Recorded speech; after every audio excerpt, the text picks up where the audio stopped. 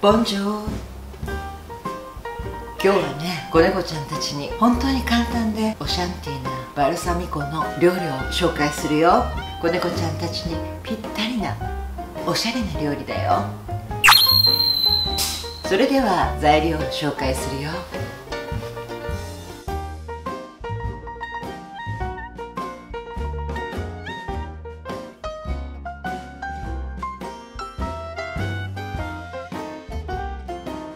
最初に鶏のもも肉をこのぐらいの一口大に切ったらそこに塩コショウを簡単にするよ。ではねまず鍋を火にかけてオリーブオイルを入れるよ。で鶏に鶏の皮に焦げ目がついたら今度はこの粒胡椒あと乾燥にんにくこの乾燥いちじくプルーン。るよ。そして水をかぶるぐらいに水を入れるよ。そこにコンソメを入れるよ。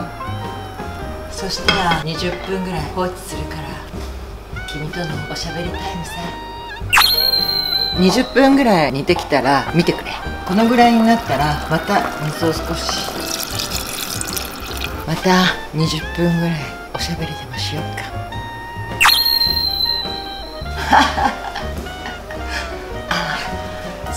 おしゃべりに夢中になってしまったらなかなかいい感じに仕上がってきたよ。このぐらいに煮詰まったらアクを取ってここで一気にバルサミコを投入するよ。ちょっと緩い感じに感じるかもしれないけどこれが煮詰まるといい感じにトロットロになるんだ。あごめんよ。おいい感じになってきたよ。このぐらい煮詰まったらこのクリームをこれで弱火にしてもう少し煮詰めるんだ。あと少し君とおしゃべりができるね。ああ青すっかりできているよ。もう火を止めるよ。